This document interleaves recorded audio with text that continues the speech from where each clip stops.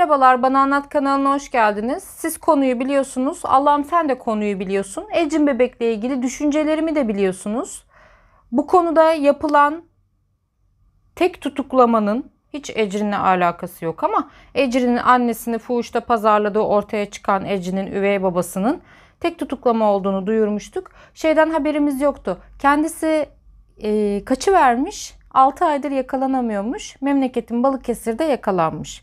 Biz de zannediyoruz ki kendisi tutuklandı, cezasını çekiyor. Hayır, cezasını çekmiyormuş. Yeni çekecek. Yani e, bu olayda adı geçen, burada Ecin bebeği kaçıran şeytandan başka gerçekten şeytanın bile aklına gelmez ama şeytandan başka hiç kimse yakalan. Bu olayda daha da çok insanın sinirlerini bozan küçücük bir çocuğun zaten hayatta yokmuş bundan sonra da yok olsaymış da ne olurmuş gibi verilen bir kararla üstelik buna hakimin onayıp yani bu konu oldu bitti gitti kapandı ve hani mahkemesi bile görülmedi. Hiçbir şey olmadı.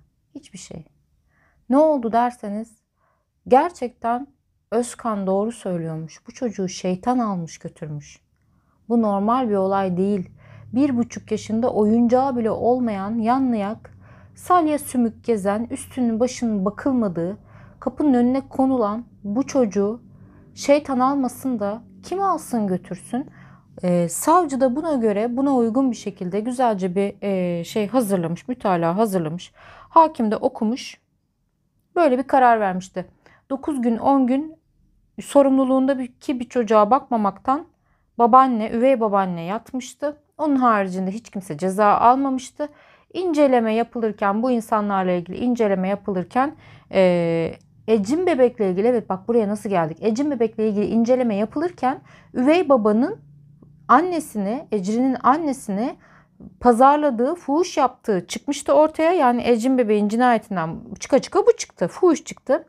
Ecin bebeğin cinayeti cinayet değildi. İhmal vardı. Peki ne olmuştu? E, orası bilinmiyordu. Artık tanınamaz haldeymiş. Kemikleri anlayamadık.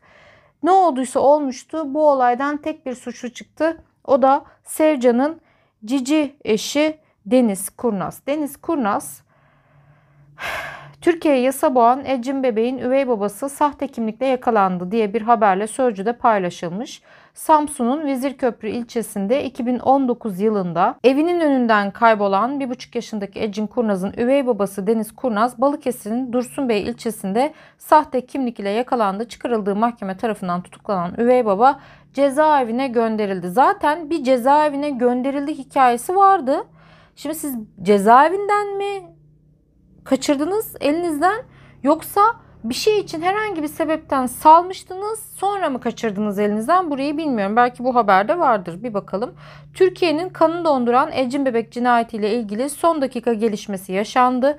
Daha önce bir televizyon programında anne Sevcan Kurnaz tarafından itiraf edilen fuhuş iddiaları ile gündeme gelen üvey baba Deniz Kurnaz, Dursun Bey Emniyetinin yürüttüğü başarılı operasyonla yakalandı. Hakkında arama kararı olan Deniz Kurnaz'ın 6 aydır Dursunbey ilçesinde inşaatlarda çalıştığı öğrenilirken şahsın yapılan istihbarat çalışmaları sonrası Dursunbey Emniyeti tarafından yakalandığı öğrenildi. Üzerinde başkasına ait sahte kimlikle yakalanan şahıs Emniyette alınan ifadesi ardından kimliğini itiraf ettiği öğrenildi. Alınan ifade sonrası mahkemeye çıkarılan Deniz Kurnaz fuhuş yaptırmak, fuhuşa teşvik, aracılık ve yer temin etmek iddiasıyla tutuklanarak Kepsut L tipi cezaevine gönderildi.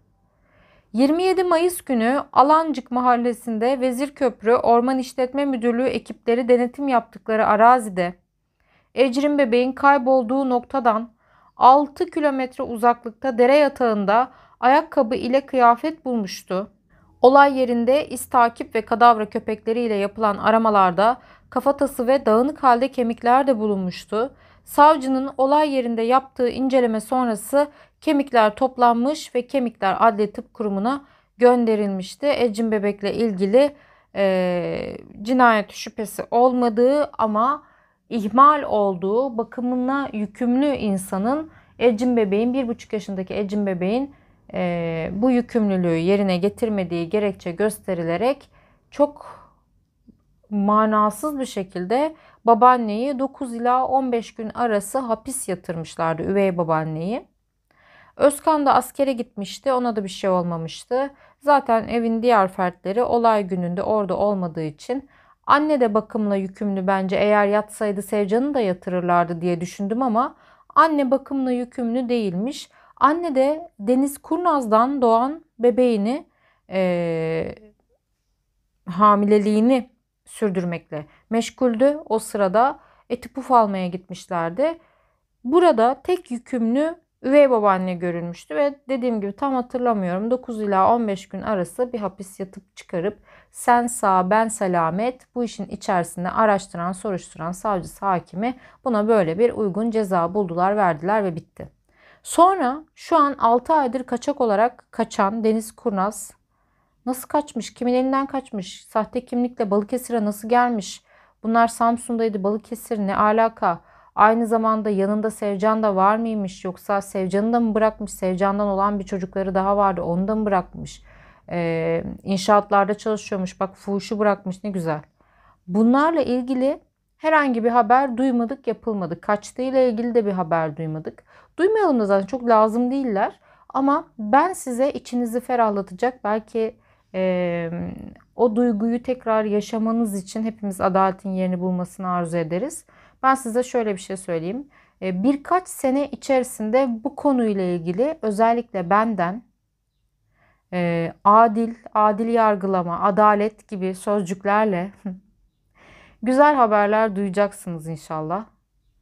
E, şu an inanılmaz bir e, kendimi tutuyorum söyleyemiyorum ama belki programda Müge Anlı duyurmasaydı asla haberimiz olmazdı Ecrin Bebek'le ilgili durumdan. Ecrin gibi birçok çocuk var.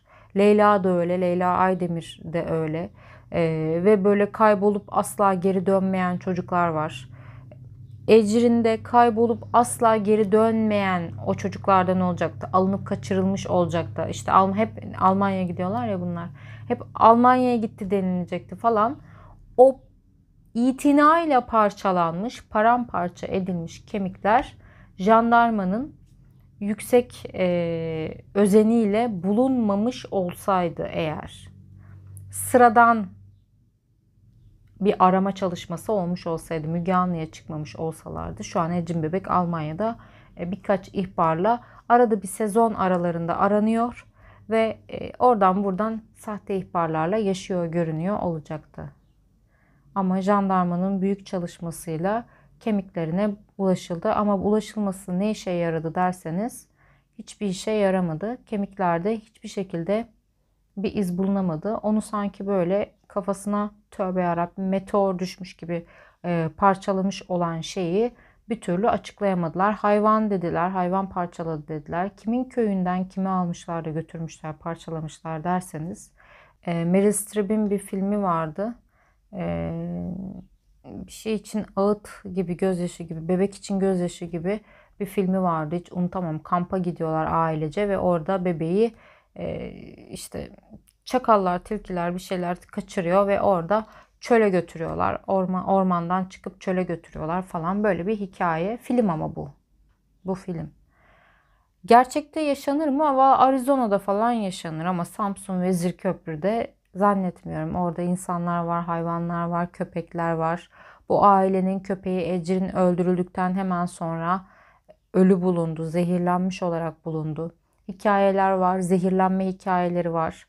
Üvey babaannenin çok fazla zehir hikayeleri var, masalları var. Bu kadar olayın içinde